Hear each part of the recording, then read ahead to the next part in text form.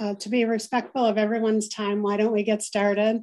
So thank you everybody for joining our presentation today, Best Practices for Selecting Inclusive and Diverse Photos. Um, my name is Michelle Koffel. I work in University Communications and um, I'll introduce myself a bit and then the rest of the folks who are presenting can, can talk about them themselves and then I will kind of take you through our presentation today and you know what to expect and and we'll have some you know follow up for you too. A couple of housekeeping notes. So microphones are are turned off. You know everybody's muted so we can have a kind of everybody can hear each other. Um, i did want to note that you can put your questions in the chat if you'd like or you know raise your you know use the hand symbol if if you want to ask a question as we're going along and then there'll be time for questions at the end too so again thank you for joining us my name is michelle koppel and i've been in university communications for 21 years now um, so, and then i will pass it over to Sherelle. Good morning, everyone. Thanks for joining us today. Um, as Michelle said, I am Sherelle Arnold. I use she, her pronouns. I am the interim director for um, Grand Valley's new, very new program. And It's called the Laker Educational Opportunity Center. And um, I have been here at GVSU for um, just over or just about 18 years. And so I'm excited to come in and share some perspective about inclusive photography.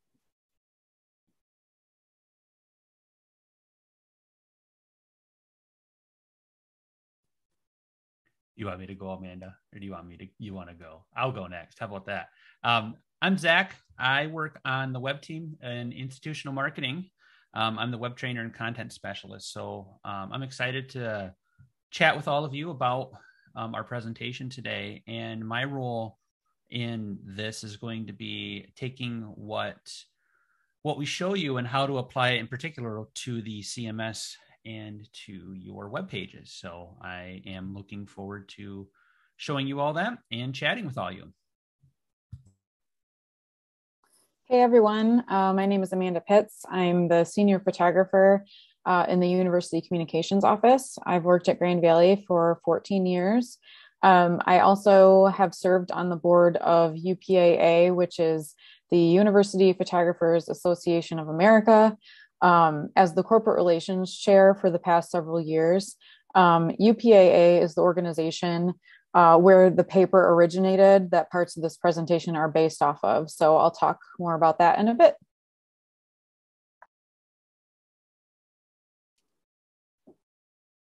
All right, thank you.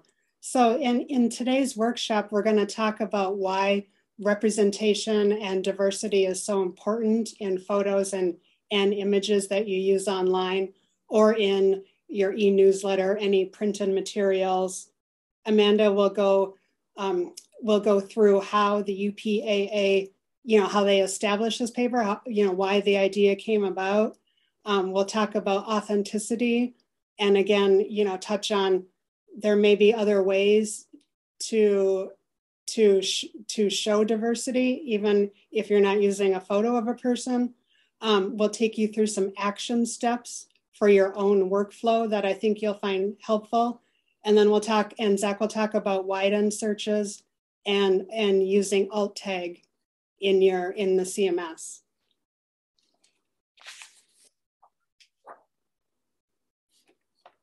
So you know when when you think about think about images that you're using in your you know in your own departments for your own colleges, photos on on websites and and in your materials, they you know obviously have to be representative of the university, right?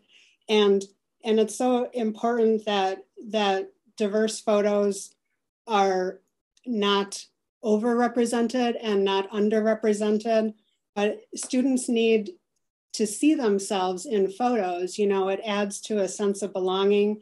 And then, of course, um, adds to student success as as they go through their classes. So also you can see other bullet points on the slide. It's, you know, photos and images are really the story behind the statistics of a university. It's another way to showcase, um, you know, who's attending your who's attending your college, who's attending your university.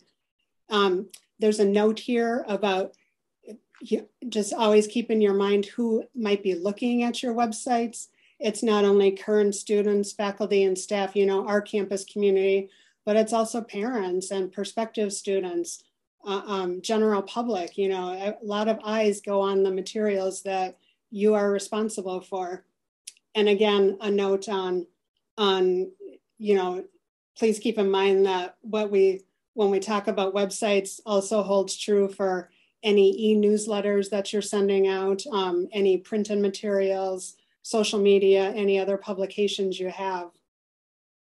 And I think, you know, we'll also, we'll also talk about the dangers of engineering, you know, so to speak, engineering a photo. Um, and, and in a sense that would be like, oh, I need, you know, I need an Asian student and an African American student and a Latino student in this photo for my department. Make that happen. You know so so there's um it, it's a sensitive subject and i really appreciate um, everybody's attention and, and i hope you find this valuable. Thank you. So the upaa paper i'd like to just share a bit of background here. Um, some of what we're presenting to you today is based off this best practices for inclusive and diverse photography in higher education paper um, how the paper came to life goes a little like this. Uh, a UPAA member came to the organization's board and said that there was a real need for some kind of official best practices document to help guide photographers and their institutions um, with regards to inclusive and diverse photography.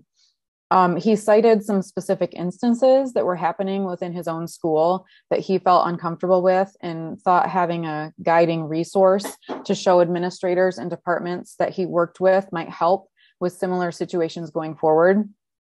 Um, when he brought this to the board, we all agreed this was a great idea. Um, university photographers are often on the front lines of creating inclusive and diverse photography, but we're often told how to do so, or we're guided to create things in a way that is uncomfortable to us and can also feel uncomfortable to the students being photographed. Um, this topic had come up time and time again at our past conferences, um, and we really felt like it was time to seriously address it in a professional manner. So um, the first thing that we did was we chose a committee of members um, to help develop and write this paper. Um, I was one of the lucky ones chosen. Um, and so our committee started meeting regularly and we came up with five questions, um, which we then sent along to DEI professionals at various institutions. Um, several professionals here at Grand Valley weighed in on the questions, including Sherelle, who you'll hear from more in a few minutes. Um, we then looked at the answers to those questions and found common threads within the answers and formed the paper from that. Along the way, we checked in with um, the DEI professionals through the whole process from the question formation to the paper outline to the finished paper. Um, the paper has now been presented multiple times at professional organization events, including NCMPR, CASE, um, and at individual institutions like we're doing right now. Um, this paper was meant as a starting point, something to help open a dialogue at our own institutions and beyond. It doesn't touch on every single thing. Um, and we've had requests for like paper part two in the future to address um, how to be even more inclusive.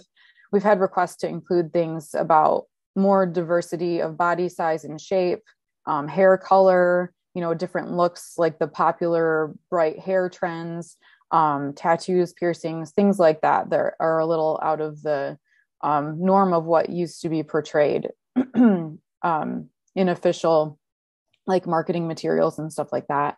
So, as I said, this paper was a starting point, um, and there's always more to talk about. Thanks.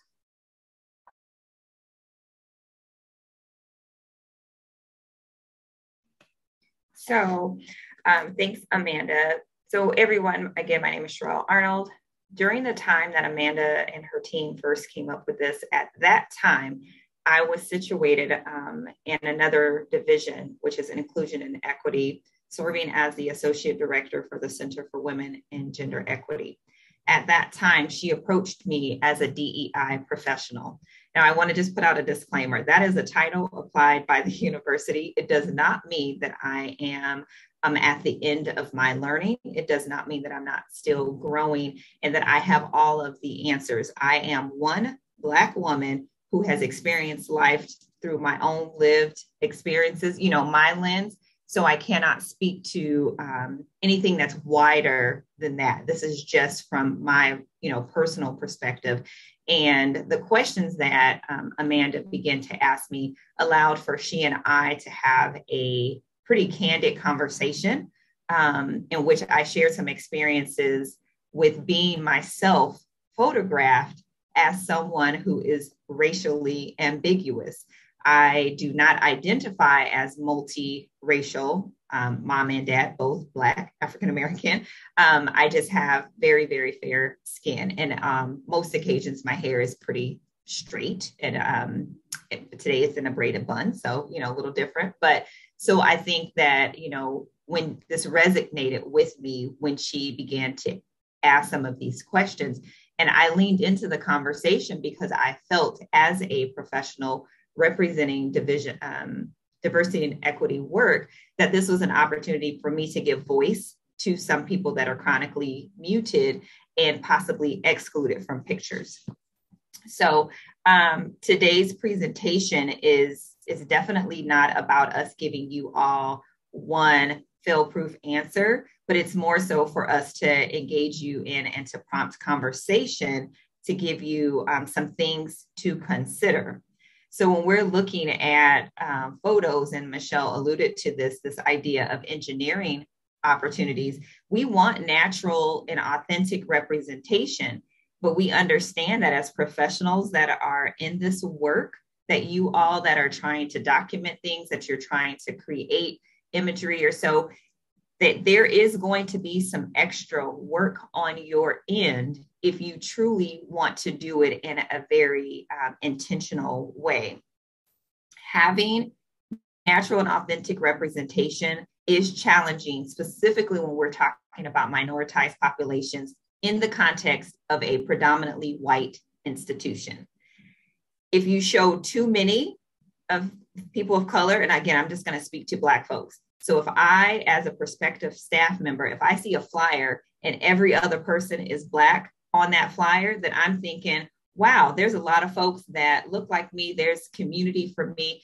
Um, but that's also misleading because we know that that's not the true picture, for example, at our institution. Grand Valley is predominantly white, and that is okay. There's nothing wrong with that.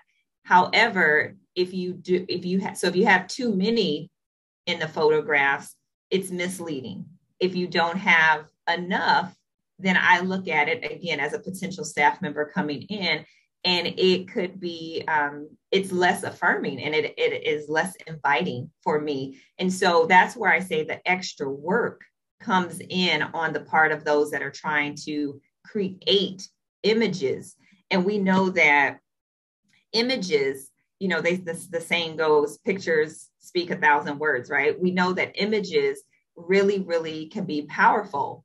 They can do two things. They can either uphold stereotypes in a very dynamic way, or they can do something really powerful and, and impactful and deconstruct myths and, and, and false notions does that i hope that makes sense with people. I'm an early educator at at heart so i feel like i'm looking at the screens looking for people to affirm me and say yes that makes sense or i'm confused or raise a hand. So um, but we want to make sure that those are the things that we um, are are doing when we're going about a wide representation of students because as michelle said when someone is perusing the grand valley website they are looking for places and spaces where they can see themselves, where they can see um, how they fit in, so to speak. So this is where um, Amanda and I had some really, really sorry, it's loud.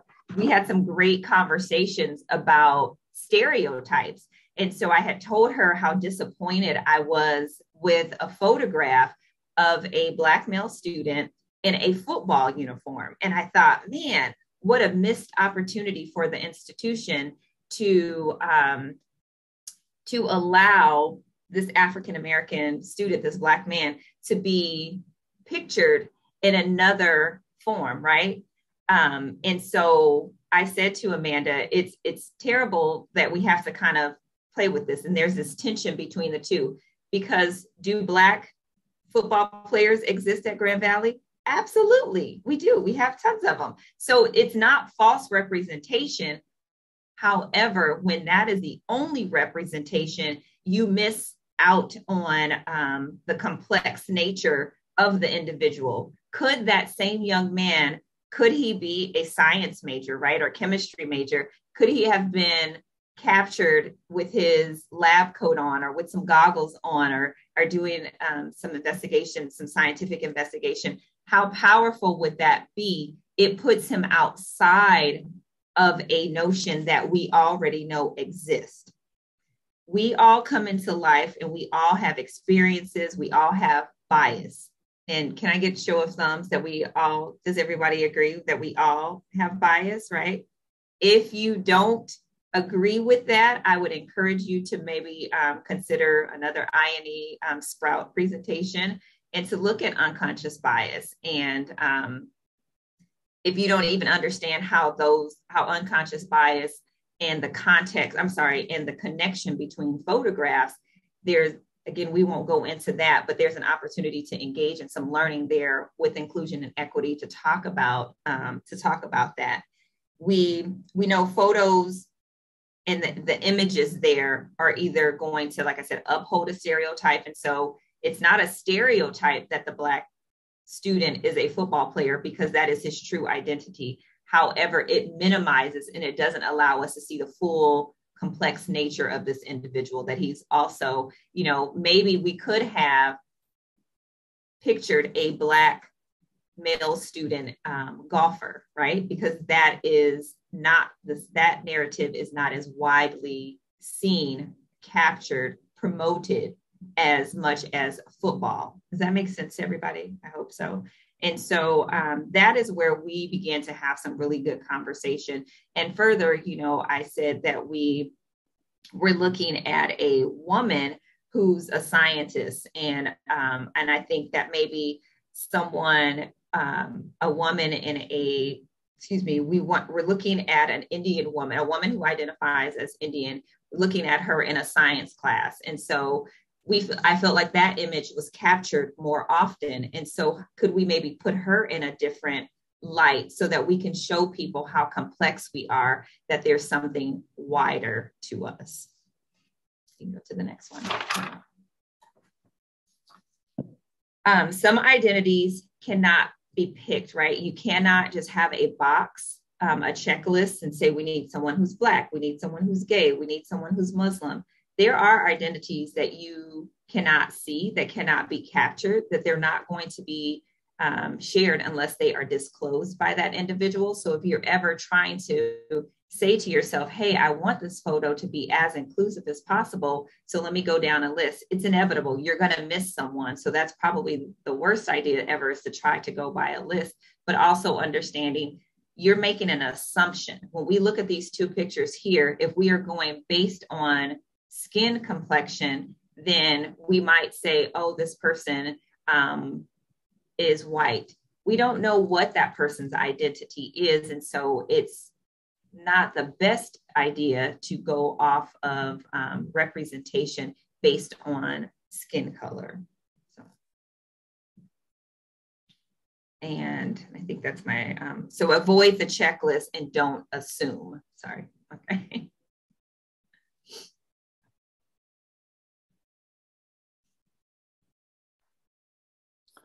So I've got some action steps here um, to help you, um, not just with being, you know, inclusive with photography, but kind of just in general um, to help with your CMS and keep, you know, keeping up your websites and publications. Um, so it's important to continually update and refresh your photography on your websites and in your publications.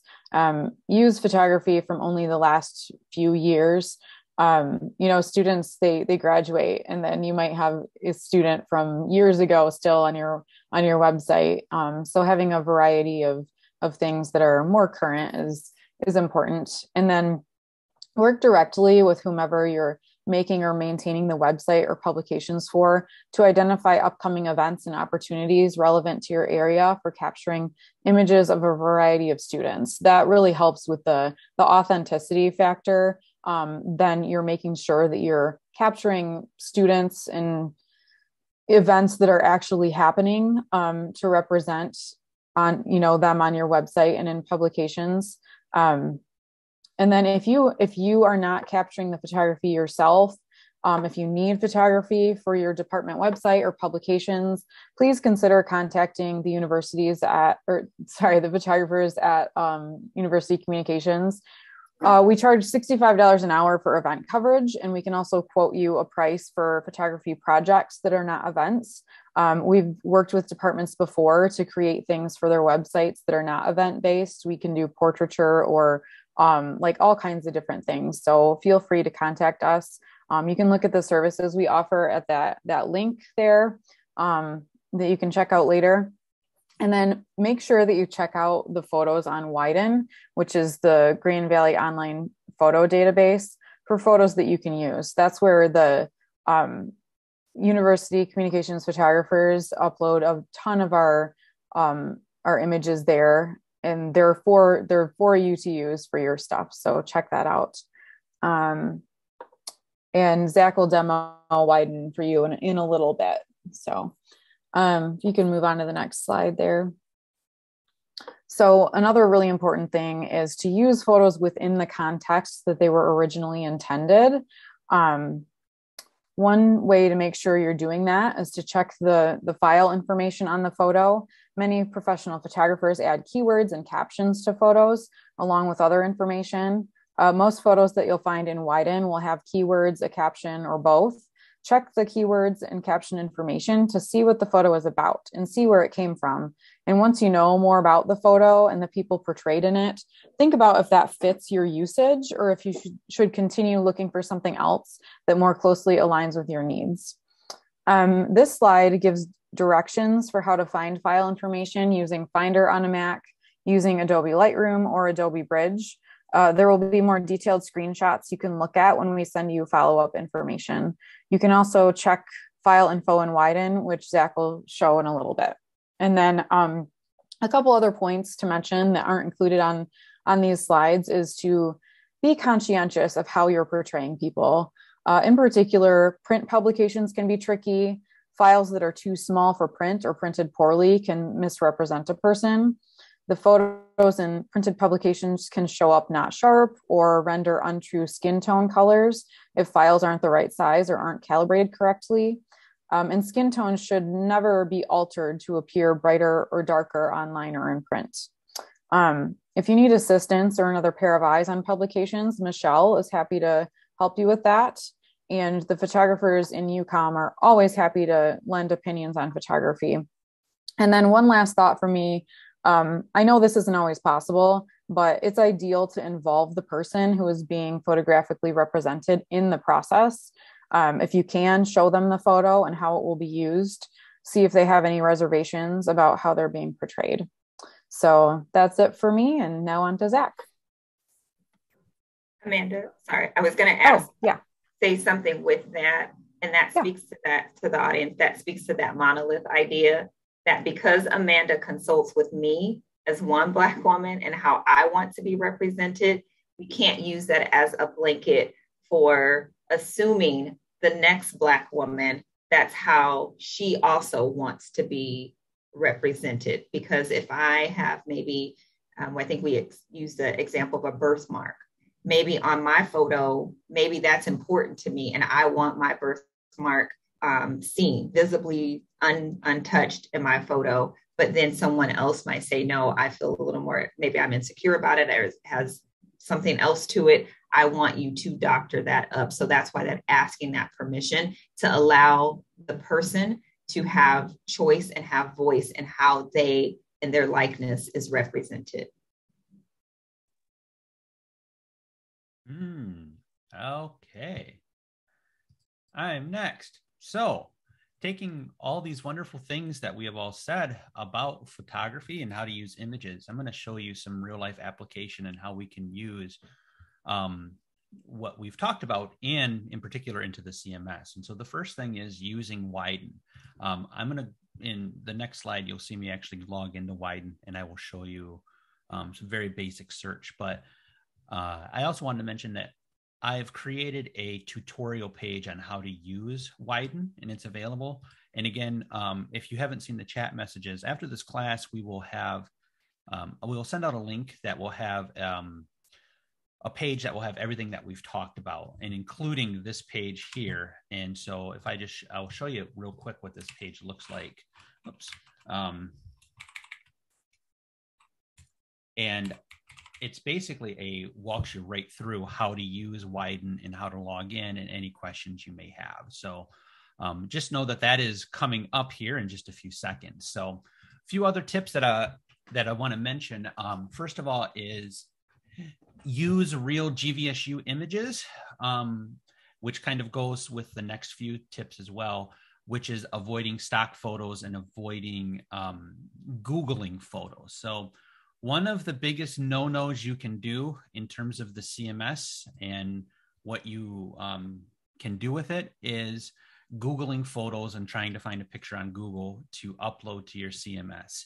Um, excuse me, there we there are in there have been instances at Grand Valley where a person has gone to Google, found a picture, downloaded that picture, and uploaded that image up to their CMS and they have been fined and have had to have had to pay a dollar amount in because they have used a photo that they did not have permission to use. And so the example i always give is let's just say for example you're going to have or your department's going to have a uh, a picnic.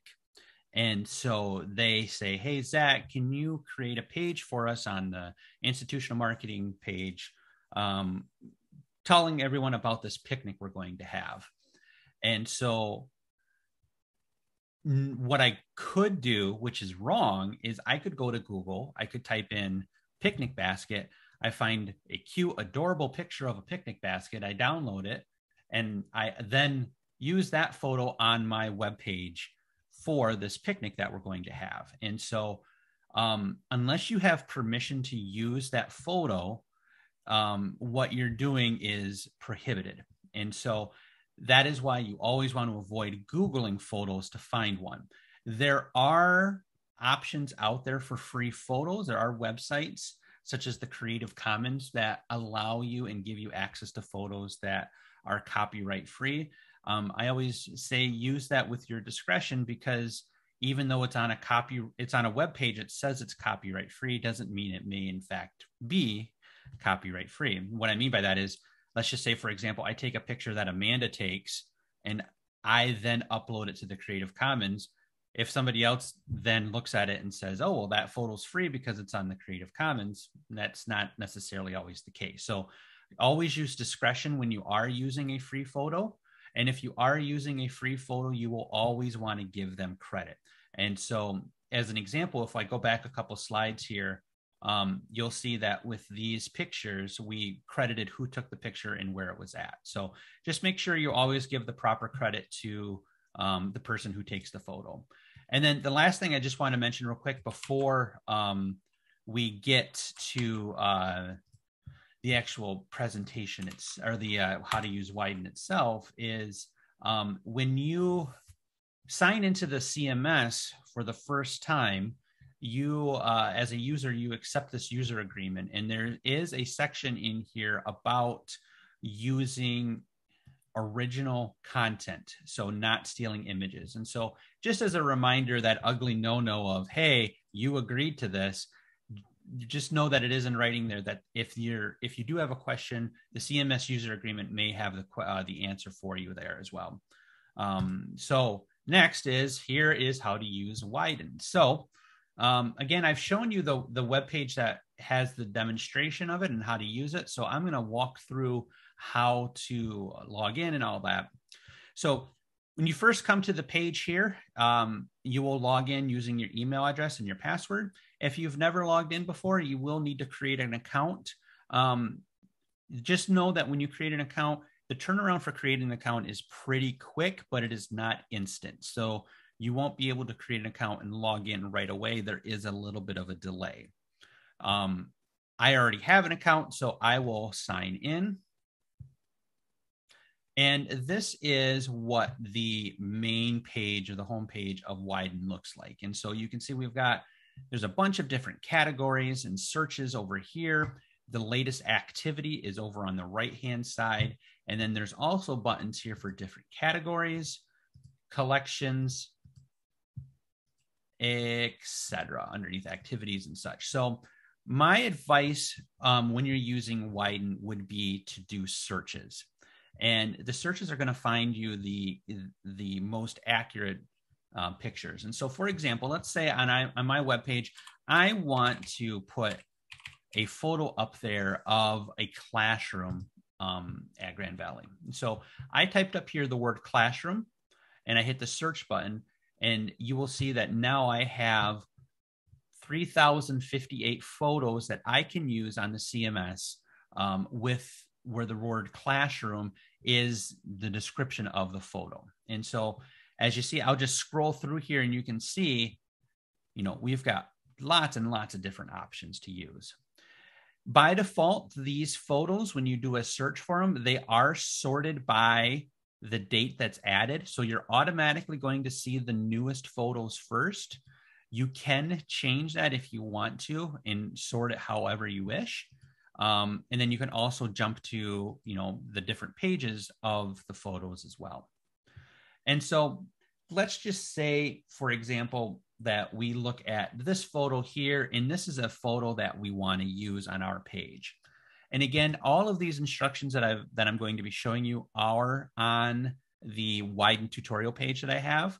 And so um, just as just a reminder of you don't need to take the notes on this. It will i'm there's a page that will show you how to use this. And so with this particular photo i clicked on it and you can see all of the metadata that amanda had mentioned previously. So you can see all the keywords are listed here um, a description of the key of the photo um, etc so lots of information within the page itself um, if I want to use this for my CMS, what I can do is I can click on this button here that says download, and I'm given a bunch of different options. And so, um, if you're wanting to use this photo perhaps as the header to your CMS, there is an option for that as well. Otherwise, there's um, a bunch of different selections as well as well here. So for this particular one, I'm going to choose JPEG. You can see if I highlight over the question mark, it will um, tell me how large the photo is. So there's a high resolution option here. This would be more applicable for something you're doing in print, such as a newspaper or magazine, whereas the JPEG small, which I have selected here, is more suitable for web. So if I click on that and I click on download, it will then take me to another screen here in which I will have the option to download it. And you can see it gives you a little prompt that says, hey, this may take a second to download, and that's totally fine. Um, this, and again, this is for just downloading one picture in particular. Um, there is the option to, if I'm going to close this and go back um, to our searches, there is the ability to highlight multiple photos. And as you um, highlight the photos, there's a button up here that you can click on that will allow you to download all of the photos at once. So it is something you don't have to do one photo for each um, download. You can download multiple images at the same time. So I hope that makes sense. And again, if you do feel lost or if you have any questions about this, just know that a lot of the uh, questions that you may have are problem they may be answered on um, the tutorial page that I've created. Um, I also see we've got a couple questions in the chat as well. I just want to let you know if we don't get around to answering those, um, we will answer those in uh, following up uh, the meeting as well to um, to make sure we answer all of your questions. So um, so we will make sure we get all your questions answered. Um, the next thing I want to talk about is using alt text. Um, and if you're unfamiliar with alt text, the alt text is the description of a photo um, on a web page so that a person um, who has a difficulty seeing the screen a screen reader will read to them what the alt text is. And so the alt text is, is a description of the photo. Um, there is a link here for the overview of the alt text standards which again will be provided at the um, in the class that you can look at. Um, the key word or the key thing with alt text is uh, expressing an emotion, especially an accomplishment. And so if you look at this photo over here on the right hand side, um, the the photo, an example alt text would be student proudly holding diploma above her head after graduating from Grand Valley. And when I look at that, the the key word that sticks out to me is the word proudly. And so because because you want to be able to convey that emotion that the person is having in the photo. And so how do you do that? You do that using alt text. And so the um yeah so make sure that you express an emotion. The one thing another thing that you want to avoid doing is duplicating alt text. And so what i mean by that is if you have for example the let's say we're putting up pictures of our um photo- of our uh, picnic um say you're putting up and you've got five different pictures listed of the picnic you will do not want to put um photo of picnic one photo of picnic two or photo of picnic three, or just photo of picnic over and over and over. To the person who relies on the screen reader, they are just going to hear photo of picnic, photo of picnic, photo of picnic, and they're not going to know at all what's going on in those photos. So it's super important to make sure that you avoid using duplicated alt text, but you also want to make sure that in within the alt text, you're also expressing an emotion that is clear. The analogy I use for alt text within the CMS is that it's almost like the three little or Goldilocks, where you want to make sure that you have just the right amount of alt text. So you don't want too little, you don't want too much, you want just the right amount. And so it is a learning curve. There's definitely a balance of learning how to do that. But you just want to make sure that you're not providing too much detail that could be distracting for the person using the screen reader, but also too little detail to the person using the screener has no idea what's what you're talking about. So, um, so just remember Goldilocks and the three bears when you're trying to use the alt text of not using too much, not losing too little, but just enough. Um, and again, all of these links and everything that I that I have shown you will be provided at the end of class. And so uh, we will send that email out afterwards, and uh, you'll be able to see all of the links and resources that I've mentioned. Um, Zach, before you move away, can, before you move away from that slide, maybe we could have a discussion about alt text in terms of identifying, you know, pe people in the photo, and it, you know, it's it's there's it's difficult, right? Because you don't know if this student who's holding the diploma does she you know does she identify as a woman? Does she identify as a white woman? Um, generally when i'm using alt text i will be vague ju- just like zach d- did and put like you know student proudly holding diploma. And and i hope that it would come within the context of the entire page. You know if this is a a general story about commencement or you know the commencement webpage and its its um, details about times and, and dates and such. But in if I'm writing a story for GV Next, um, and, and I'm the story is about Black Student Union, and there's a photo of you know 10 people standing outside who have come from a Black Student Union event, I will say, you know, students standing outside, and this is my alt text students standing outside um, following a, a, Black Student Union event or something. And, you know, that would be, remember, it's accompanying the article or whatever else is on the web page, hopefully giving people with um, who have visual impairments the entire scope of what you're trying to convey. Yeah, and I would just add on to that that with the alt text, it's important to um, not assume. That's right. the big thing is not to assume um, a the, the the the content of the photo and also to um, because you don't know how a person will identifies but then also to avoid staying clear of labeling that's um, also important to do as well so um, yeah and so yeah your example with the student holding you know that is very applicable to this but yeah so to remove the assumption and also to stay clear of the labeling as well as well as i would suggest to asking if there's opportunities when you are doing the photograph, asking someone during that time what their pronouns are, how, you know, if, if for the purposes of alt text, if that came up either organically or if you were able to ask, but so that when you're adding that alt text, you know that. And then asking yourself too, is that necessary to give, is that information necessary to give the full scope of the picture? asking this person that's holding the diploma um, from what I see, I think I can almost maybe see a person of color in the corner, but the three or four folks that faces that I see, I believe they look like they possibly are not people of color, but I don't know that that the the race part, I don't know that it matters in this particular picture as much as it does in Michelle's example. So then toggling between when is it important when is it useful to to to undergird the the the, the storytelling and to support this you know the message versus it when is it just you know additional information so gender using gender neutral pronouns that's something that we can definitely all all get better practice with but that's a perfect place to use them i spelled perfect wrong i fixed it but that's a perfect place to apply the use of gender neutral pronouns.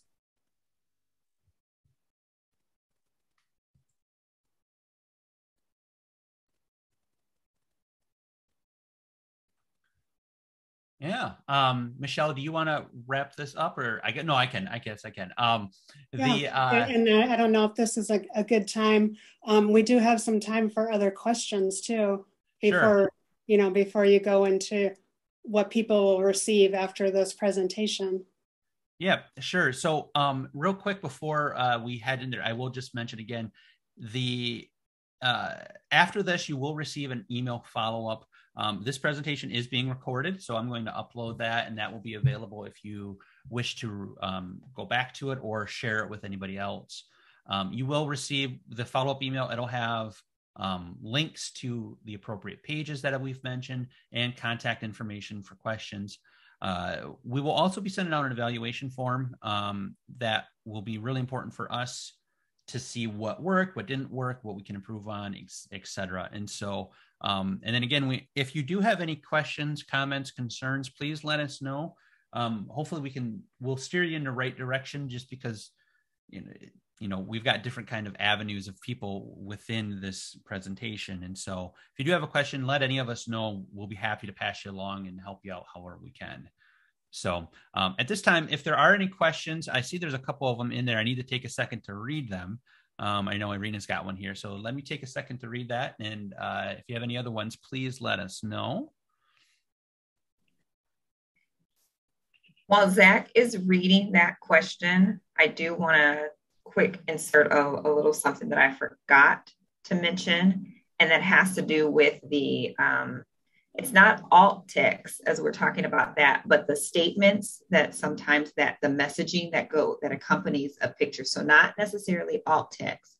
There was a gvsu um, this is again in-house example on the web page on our on the front screen. And on the front screen it said um, see yourself here or find yourself here something to that nature but see yourself here. And there's a group of students on the the picture um, and beautiful background campus picture. That picture was of all white students. And so there was some inter-community dialogue between myself some other black folks and we were like wow. So that you know does that suggest that we don't see ourselves that they don't see us or that we aren't there? Maybe had the language been different the picture the picture of the all white students wouldn't have resonated in such a way or wouldn't have been felt or received a certain way. But to have a picture that says, see yourself here, And this is to welcome everybody coming to GVSU. And there was the absence of anyone that was a person of color. It, it did not feel awesome. And when you think about things like imposter imposter syndrome, when students of color or faculty and staff of color are already struggling with trying to find themselves represented in the context and trying to find a space for them, things like that can be um, further harmful. You know, that could be harmful to a student who's like, well, I'm trying to find myself at GVSU. I want to see myself there. But as their home page said, suggests, I'm not there you know I, so had the language not been accompanying that picture it maybe have may have felt different but to have the statement see yourself here and there's the absence of anyone that is not white that sent an unintended message i don't think the person that put that picture up there was deviously trying to scheme and make someone feel some way. I think it was just something unintentional that just happened to happen. And as a person of color, I immediately saw it and it made me feel some kind of way.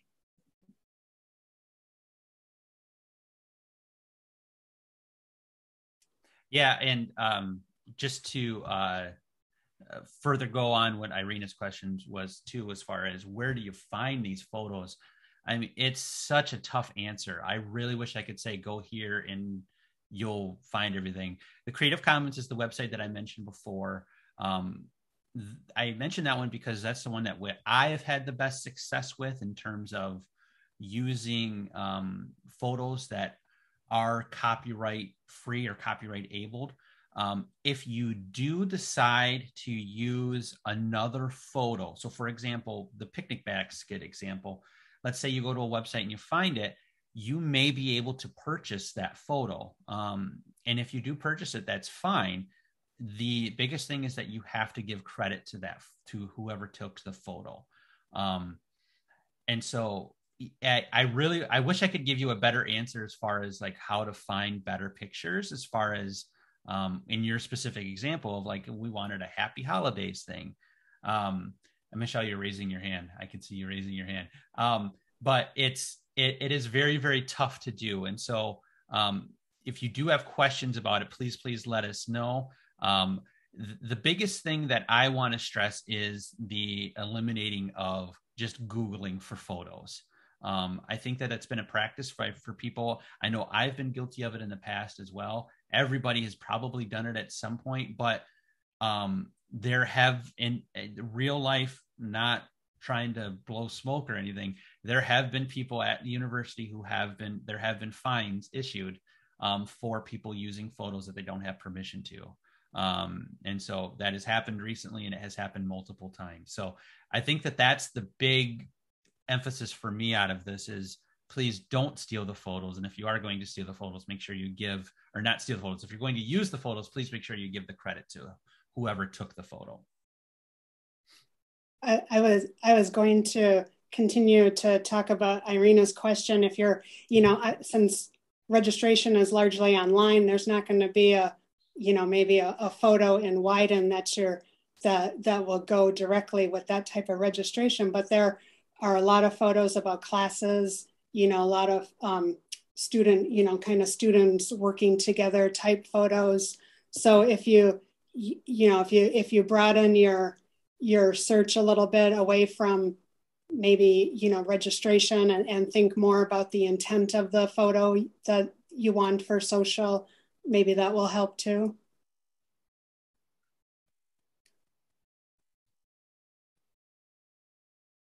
Yeah, it, it's tough, and I, I, I'm more than happy to lend a hand, however I can with it. But, um, but yeah, it, it is it's it's tricky to navigate, but it's also great because we do have Widen available, and so um, with the Widen Collective, it's it's it's a whenever I know that whenever I need a photo to use on a page, the Widen Collective is always the first place I go to to look. So, but I think there's another question up higher that we didn't answer yet. The can free can free photos be used for TV kiosks in our buildings, or do they need credit since it's only being used in house? I'm not sure if free means like Googled images or free means like images they find on Widen. Yeah, and I'm I'm not exactly sure how I'm not exactly sure the answer to that. That would be something that I would have to do some looking and research myself on. Um, because it's not on the web technically, but it is public. So yeah, that would be something that I would have to look up and provide some more. I don't I don't have an answer to that at the moment, but it is something that I can definitely take a look at and research. I think that um, if it's coming from Widen and it's putting being put on a kiosk, I don't think it necessarily has to be credited because it's you know we shot it and it's being used internally. Um, but yeah, I don't know the answer if it's if it's like free Googled images. Yep, same here. Um, yeah. Any other questions?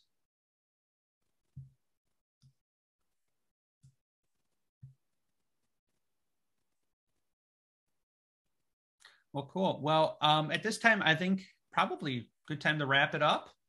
Um, I again um, be on the lookout for some emails that will answer all your questions. It'll have um, a copy of this presentation and all sorts of helpful links afterwards. So um, thank you all for attending this. This has been um, a great turnout. So um, thank you all so much. We really appreciate it. So again, if you have any questions or comments, concerns, be on the lookout for your email for some more follow up. And otherwise, just reach out to one of us and we can um, help you out in any way we can.